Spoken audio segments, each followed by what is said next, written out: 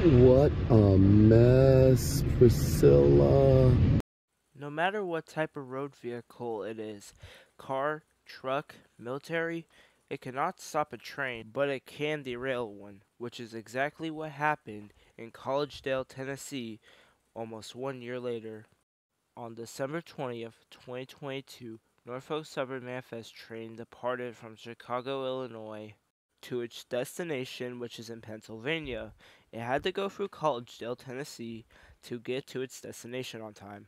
The train consisted of three units Norfolk Southern ET44AC, number 4067, leading, followed by Norfolk Southern SD70ACe's 1058. The third unit was ET44C4 3601.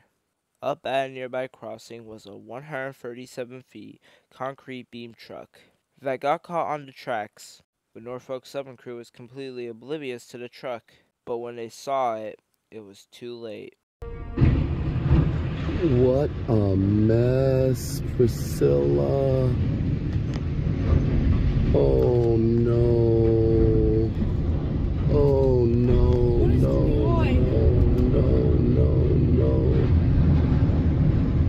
A local bystander saw the whole thing happen and recorded it. It was a mess. Rail cars piling up together. At one point in the video, you can see two grain cars completely destroy a tree. One of the scariest parts about this accident was a few feet apart from the railroad crossing was a bridge that had flowing river water. You can see the track bend down almost into the river. You can see 4067 and 1058 dodging the river. So in the end, the crew and the truck driver only suffered from minor injuries. Could have led to serious injury or even death. Now the main question of how this happened and why.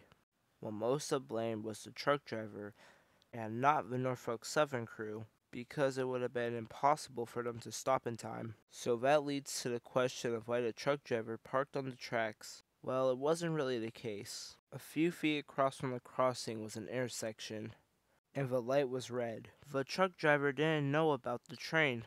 Especially with the size of the truck, he couldn't do anything. Only thing he could do was sit there and wait for the light to turn green.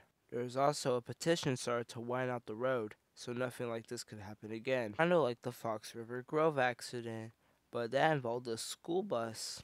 In the end, 4067, 1058, and 3601 were all repaired and put back into service and will still run to this day. Hopefully nothing like this will ever happen again.